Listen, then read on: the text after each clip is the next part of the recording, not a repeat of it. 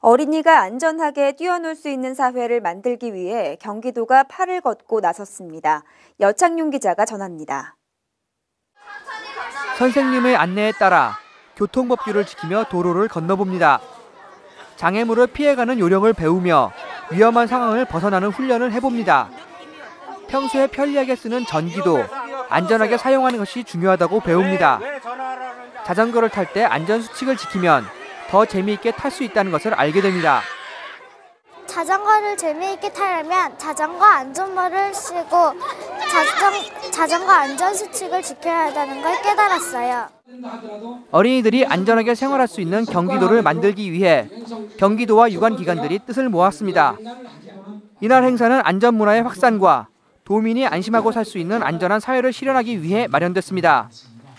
가장 어린 아이와 약한 노약자와 또 여성을 사랑하는 마음, 장애인이나 이런 어려운 분들을 사랑하는 마음이 안전의 지금 우리 사회의 출발점이다 이렇게 보고 있습니다.